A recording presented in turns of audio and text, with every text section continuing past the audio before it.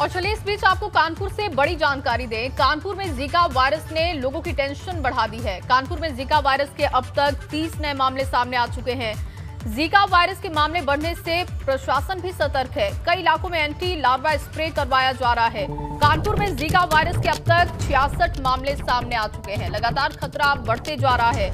लोगों को जागरूक भी किया जा रहा है कि वो साफ़ सफ़ाई पर ध्यान दें। इसके साथ जीका वायरस को लेकर सतर्क रहें। हालाँकि प्रशासन की टीम लगातार सतर्क दिखाई दे रही है और एंटी लार्वा फॉगिंग करवाई जा रही है ताकि इलाकों में साफ़ सफ़ाई बनी रहे।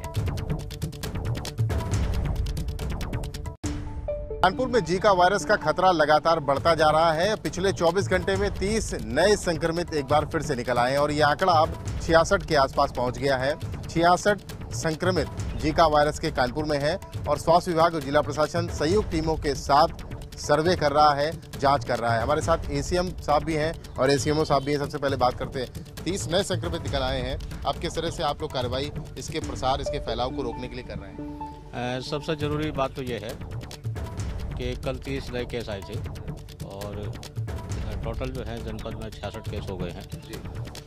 यहाँ पोखरपुर में आज हम आए हैं डोर टू डोर भ्रमण करने के लिए ताकि हम देख सकें। और इसमें दो केस पुराने थे, सत्रह केस नए आए हैं। और सभी केस जो है, उनके जो कॉन्टेक्ट ट्रेसिंग है, वो हो चुकी है। यहाँ पे लगातार जो है, सुबह शाम जो है, सुबह दो घंटे, शाम को दो घंटे फॉगिंग कराई जा रही और जो हमारी सर्विलांस टीम है सैंपल टीम है, जो उनके नज़दीकी जो है कॉन्टैक्ट के लोग हैं, उनकी सैंपलिंग जो है, हो चुकी है।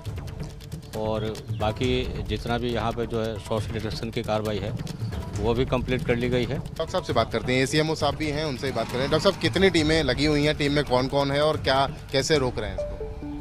देखिए पहला केस जो हमारा ये निकला था एम एम मलिक साहब का ये एयरफोर्स स्टेशन में काम करते हैं वहाँ पे हैंगर है छः नंबर सात नंबर। उसके पीछे हमने ब्रीडिंग प्लेसेस देखे तो उनका ब्रीडिंग बहुत थी।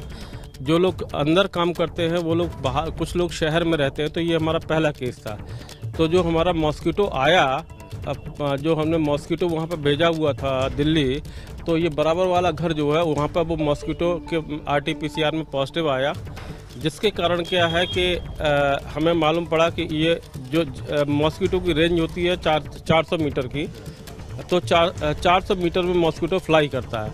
तो जो इन्फेक्टेड मॉस्किटो जो है ज- आ, काट चुका है वो जि- जिसको काटेगा उनको संक्रमण फैलेगा। इसके लिए हमारी सोर्स रिडक्शन की सौ टीमें लगी हुई हैं और हमारी जो है फोकल स्प्रे के लिए सौ टीमें लगी हुई हैं। तो नगर निगम, जिला प्रशासन और स्वास्थ्य महकमा लग करके, मिला, मिल करके ज्वाइंट ऑपरेशन चला रहा है। लगा हुआ है कि किस भी तरीके से जीका वायरस को फैलने से रोका जा सके। कानपुर से कैमरामैन पंकज निगम के साथ रतीश त्रिवेदी, एबी